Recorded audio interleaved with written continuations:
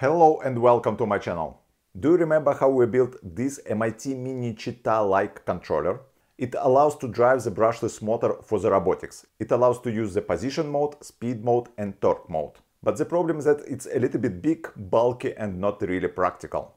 But as you remember, MIT Mini Cheetah controller is open source project, so you can go to the GitHub, download the files, make the PCB and solder all the components on this PCB. But the problem is that components are super tiny, small SMD components. And so it's super difficult to solder at home. That's why I decided that I will look for the PCB company which can provide the assembly service and which can make the entire board for me. And I contacted several PCB companies and only one from the several companies was able to produce this board for me. And this company is Next PCB and they made this beautiful board for me. So they made the PCB and also assembly, so they soldered all the components on top of this PCB. Just compare the sizes. This one has exactly the same components as this one. At least exactly the same main components as this one. It's quite tricky to make this board. First of all, the PCB itself has four layers Second, in order to solder these components you need to have these components and not all the PCB companies have the service where they can buy these components for you to solder them. The third thing that you need to do the assembly, meaning that you need to solder these components. And the problem here is that there is components from one side and also from another side. There is an encoder from other side. But Next PCB looks really professional and they were able to make five boards for me. So today we're going to try it and see how it works. For this I will solder some motor to it. Yeah! This video is sponsored by NextPCB. Currently NextPCB is offering a free trial offer of 10 of their PCBs for free. All you have to do is pay for shipping. Also there are PCB assembly services, only $7. How amazing it is! NextPCB offers 24 hour build times and shipping that can get your PCB in just a few days. For more information, please check out the video description below. Let's quickly compare these two boards. Here there is a microcontroller STM32. On this board it's over here. This is a driver with MOSFETs.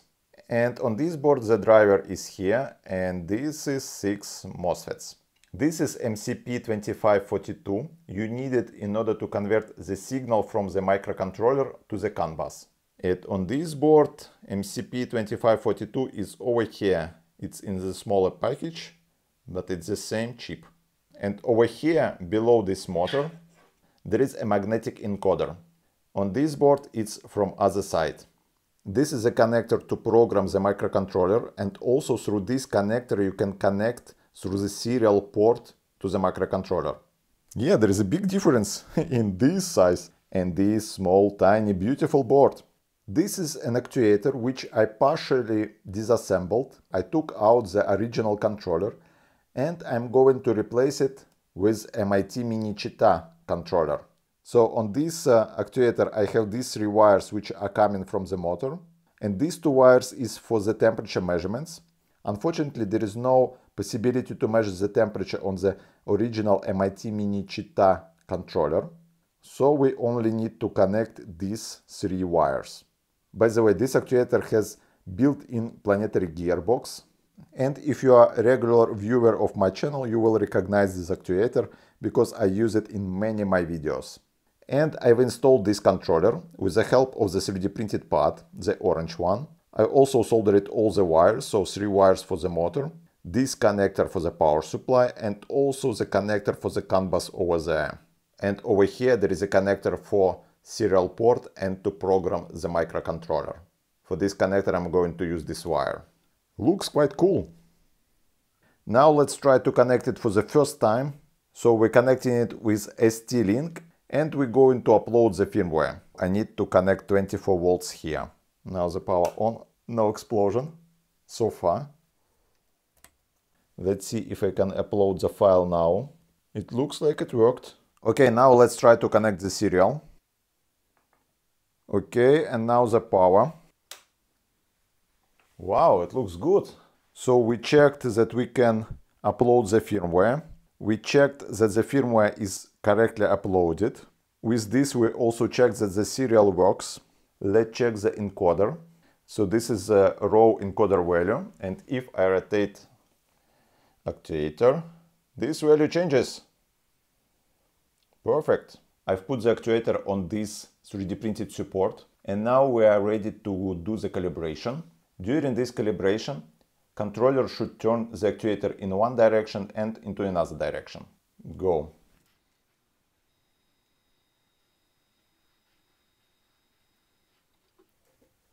Now let's try to go to the motor mode just to check that LED is working. Yeah, it does works. You see this LED. Cool.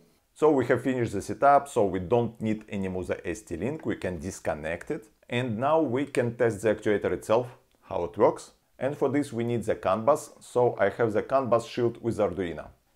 Let's connect it. I've connected the CAN bus with this wire. Ground is not connected. Over here I have the termination resistor 120 ohms. Arduino I'm going to connect to the computer like this I can check the serial port of the Arduino and like this I can check what the controller is replying. If this sounds complicated, watch my last video about MIT Mini Cheetah controller. Serial monitor. And I have data here, cool! So the first is position input, the second is position output, this is the speed output and this is the torque output. With the joystick I can set the same position input as a position output. Like this, when I'm going to go to the motor mode, when I'm going to enable actuator, should not move anywhere. Motor mode, exit motor mode. Looks good so far. Now we can try to run it. Motor mode. Oh.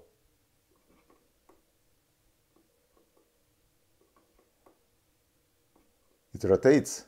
It holds its position. Cool. It works. Nice. Great. I have increased the speed of the motion. So I changed the program on the Arduino and increased the speed. Not big deal. Let's try. Now I can go to the motor mode and try to rotate it.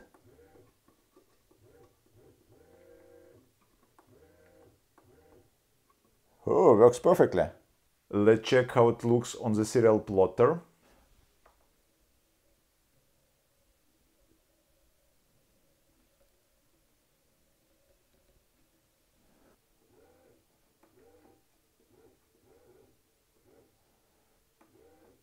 So the red is the input position, the green is the output position, yellow is the speed, and pink is the torque.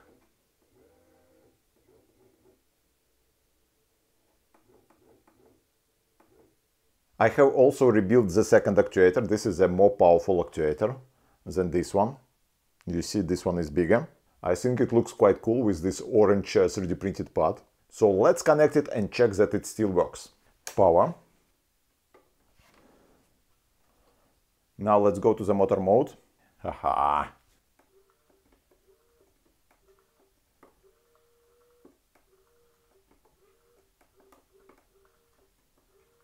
Works perfectly. It holds the position. I can increase the stiffness. Now the stiffness is quite low. Let's see what other tests we can do. I have installed this actuator as one of the actuator of this robot arm from my previous video.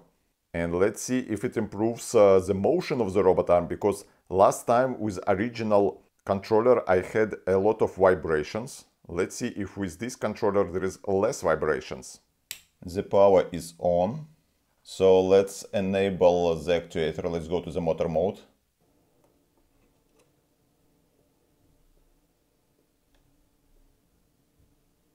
Oh, no vibrations. Like zero.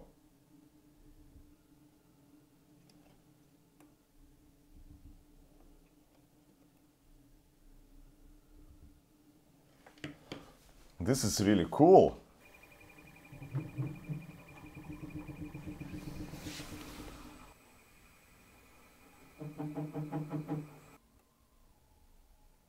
But it works way better.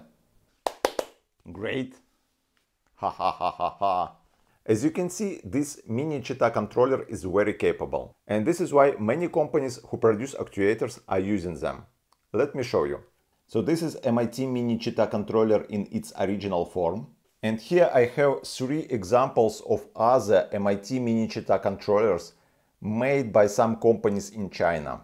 And uh, the question which I don't understand is why they redesigned this board if the original board is very small. If we compare, it's smaller than any of this board, way smaller actually.